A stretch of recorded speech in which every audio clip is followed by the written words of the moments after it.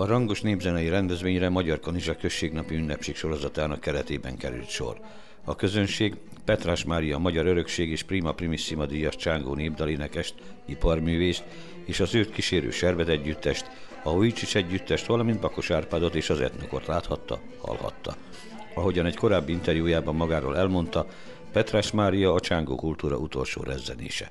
Ahol fellép, ott csak is róluk és értük énekel.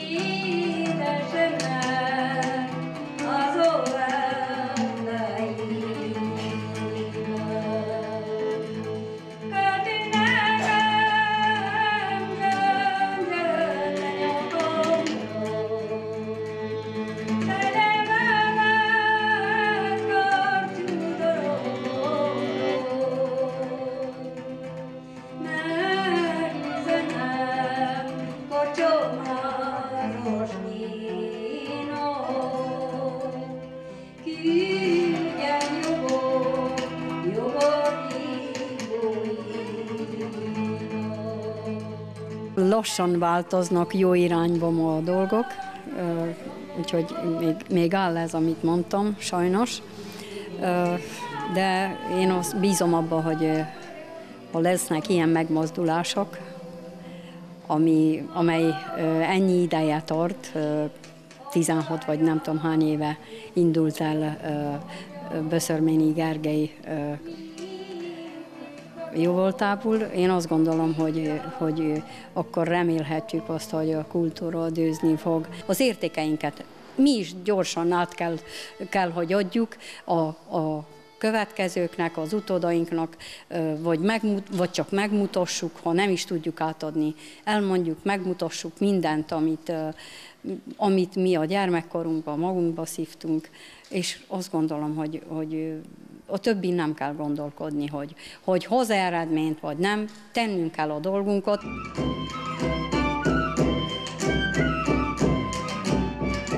A Petrás Máriát kísérő, alig fél éve alakult Serbet együttes önálló zenével is bemutatkozott.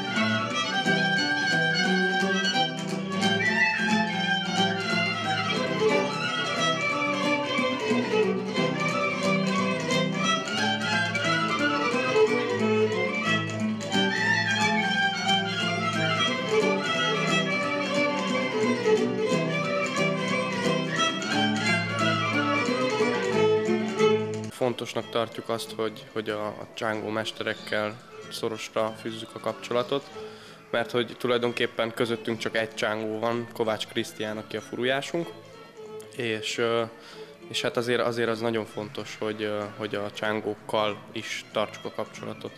És valahogy úgy éreztük mind, mindnyájan, hogy, hogy egy olyan löketet és egy olyan, olyan érzetet tudott adni nekünk most Petrás Mária, amit majd az elkövetkezendő időszakban is szépen adagolunk majd magunknak. Tudni kell rólunk azt, hogy, hogy csángó népzenét játszunk, moldvai csángó népzenét.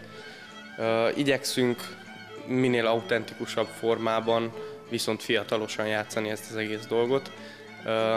Szerintem a, a magyar népzenei területnek az egyik legkülönlegesebb és legérdekesebb zenei világa az pont Moldva azért mert, mert nagyon sokfajta kultúra keveredik ezen a kis vidéken. A Vujcsics együttes ezúttal is nagy sikert aratott, mint ahogyan mindenütt szerte a világ.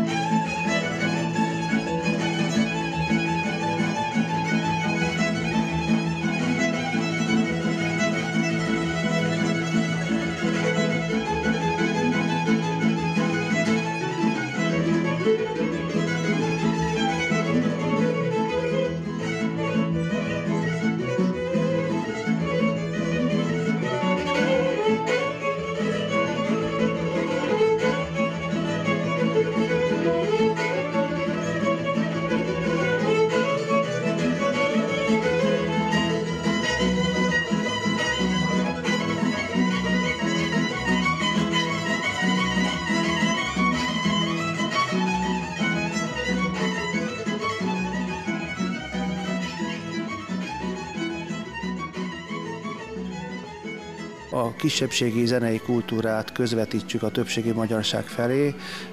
Ezt igen, méghozzá úgy, hogy ezek a zenék, amik szerb és horvát kisfalvak muzsikái, ezeket mi koncertzenévé érleljük, és úgy tudjuk színpadon bemutatni koncertzeneként, hogy az anyanyelvi közegtől eltérő közönség is befogadhassa. Tehát ne csak valamiféle exotikumot jelentsen számára, hanem rá tudjon hangolódni, megérezze a logikáját, megérezze a szépségét. Azt tapasztaltuk, hogy nem csak hogy Magyarországon, ahol a közönség nagy része egyébként a, a többségi magyarságból kerül ki, ö, ö, hanem a világ számos táján, tehát Ausztráliától Amerikáig ö, ö, ö, ez a bizonyos befogadás, ez, ez lehetséges volt.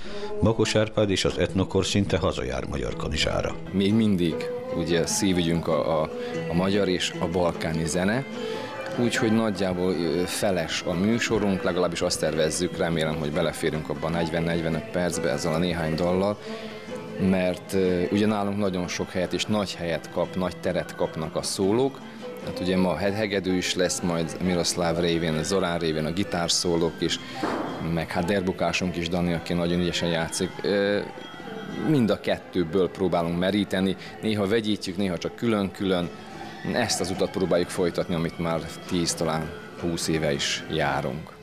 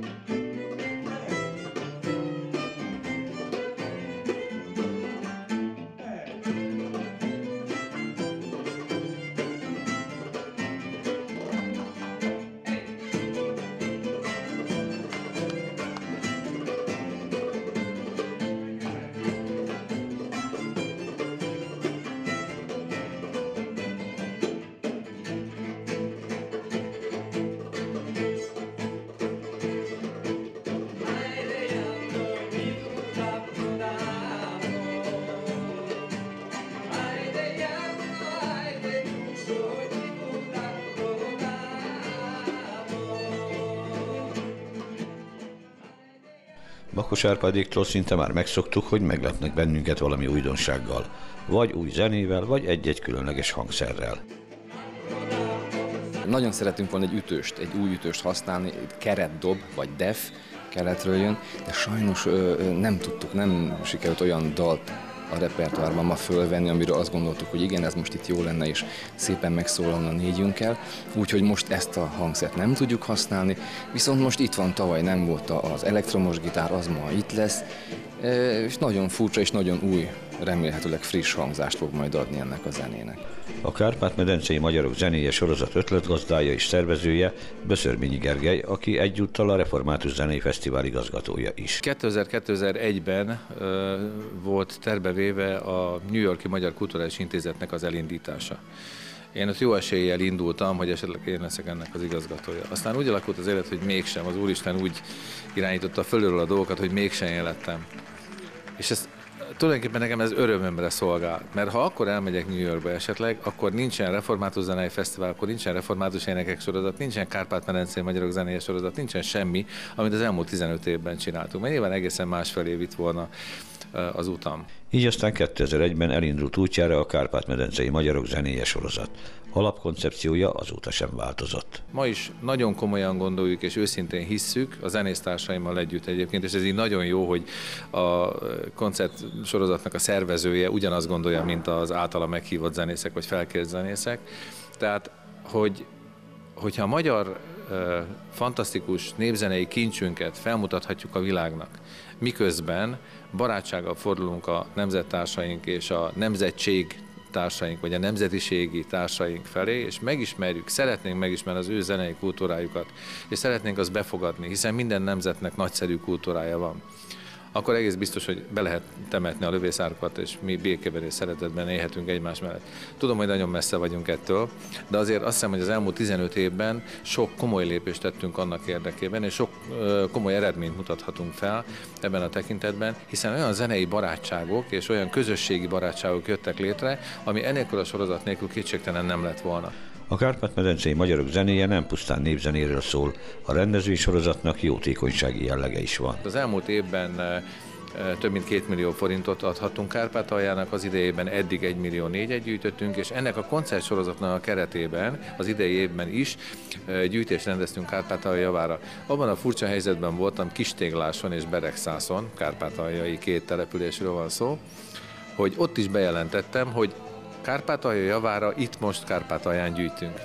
De arra gondoltam, hogy hogyha azok az emberek, akik olyan fantasztikus műsorokat kaphatnak, mint amilyet a Mistral együttes, a Vujicic együttes, a Servet zenekar, a Csipkés együttes, Pál István Szalonna és bandája, hogyha ezeket a, a zenéket meghallgathatják ingyenes belépéssel, tehát nem szednek belépőjét ezeken a helyszíneken, akkor azok, akik megengedhetik maguknak, hogy egy nagyon kicsike kis összeggel is támogassák valóban a, a saját társaikat, nemzettársaikat Kárpátalján, akkor ők adjanak valamit. És egy nagyon szép adomány gyűlt össze, még kár, a nehéz sorsú Kárpátalján is. A gála műsoron egy háromtagú magyar kanizsai küldöttség is részt vett, ahol, mint a népzenei sorozat egyik házigazdája, átvehette a város könyvtárának járó lemezcsomagot. A CD-knek a feldolgozott listáját megtalálhatják a könyvtár honlapján, méghozzá a www.jab.org.rösz oldalon, ahol aztán megtapasztalhatják azt, hogy mennyire változatos ez a CD kínálat, mert hogy nem csak népzenéről van itt szó, hanem egyéb más műfajokból is kaptunk ajándékot, például könnyűzenei CD-k is vannak, aztán hangos könyvek is vannak, és hát minden, ami csak ebbe belefért, amit az adományozók össze tudtak gyűjteni számunkra. A könyvtár igazgatónője bízik abban, hogy a Magyar Kanizsán szinte már meghonosodott rendezvény egyik állomáshelye jövőre is a Tiszaparti városka lesz. Mi is nagyon örülünk ennek a rendezvénysorozatnak, mert úgy látjuk, hogy nem csak a CD adományok által lesz hozadéka ennek a rendezvénysorozatnak, hanem egyéb más kulturális programok országokra is át tudjuk hívni azokat a föllépőket, akiket mi megismertünk most például ott a Vigadóban. Vannak ilyen terveink, hogy ö, ö, onnan is kérünk föllépőket, például a Városnapja ö, ünnepségekre, vagy a Magyar Kultúra Napja ünnepségére. A Kárpát-medencei magyarok zenéje rendezvény sorozat az elmúlt évek során belopta magát a magyar kanizsaiak szívébe. Megszerették a fellépőket, megkedvelték azt a csodálatos zenét, amelyet minden évben elhoznak nekik a népzenészek. Csak nekik, hiszen a délvidéken egyedül Magyar Kanizsán kerül sor erre a művelődési eseményre. Szomorú az én éjszakám, szomorú az én éjszakám,